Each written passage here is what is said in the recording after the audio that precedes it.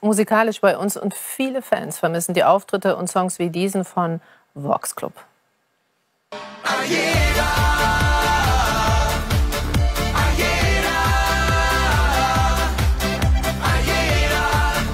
Tja, das Video wurde übrigens jeweils in den eigenen vier Wänden aufgenommen, dann zusammengeschnitten und ganz besondere eigene vier Wände hat gerade Bini Ahrens von der Band. Die sind nämlich auf dem Wasser. Ein Hausboot in Brandenburg ist sein neuer Rückzugsort. Hier wird geträumt, hier wird sich auch mal runtergefahren und hier wird auch Besuch empfangen. Wir, wir von Brisant haben uns sehr gefreut. Der Plauer See in Brandenburg, ein tiefgefrorenes Winteridyll. Ja, servus. Ja, Grüß dich. Chaka. Schön, dass ihr da seid. Kommt rein. Ja, Auf meine Audrey. Herzlich willkommen. Rein ins Warme mit euch. Schau mal, ich zeige euch mal was. Hier ist quasi das Wohnzimmer. Hier ein bisschen Dusche, Sauna und Fahrräder. da schlafe ich. Oder die Gäste. Ja, also vier Leute können dir locker unterkommen.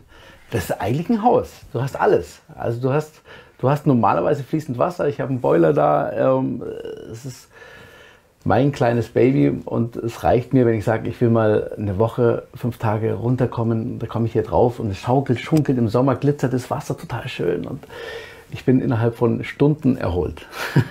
Komm, zeig mir noch ein bisschen, An Auftritte in Biergärten oder gar Festzelten ist momentan nicht zu denken.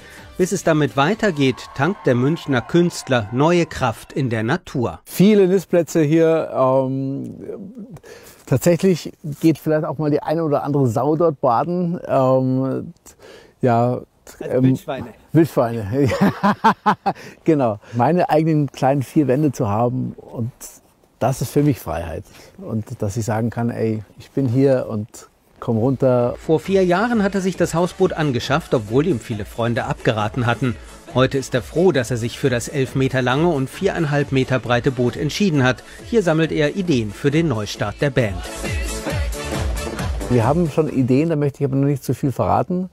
Und wir werden uns jetzt zusammensetzen eine Woche lang und mit Musikern zusammen dann unsere Idee feilen. Aber ähm, da müsst ihr euch noch ein bisschen gedulden und gespannt sein. Wir sind es auch.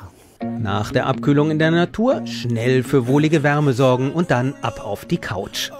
Wo kein Input, da kein Output. Irgendwann ist der Tank leer. Und wenn du da keinen Ort hast, wo du sagst, hey, du kommst runter, du bist nur bei dir, du musst nicht gefallen, du kannst bei dir sein, ähm, du gehst ins Bett, wann du willst, du schaust aus, wie du willst und das tut mir persönlich unglaublich gut. Freiheit genießen und Dinge tun, die man wirklich möchte. Das ist Bini wichtig. Und immer wieder alles im Leben überdenken.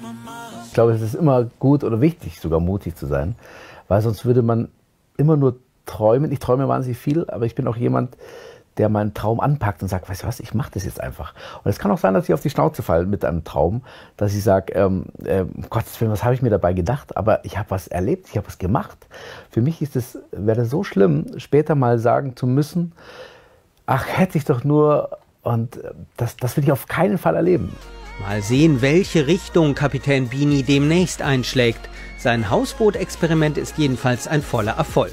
Wenn er es nicht selbst nutzt, vermietet er es. Welcher Fan kann schon behaupten, einmal im Bett seines Idols gelegen zu haben?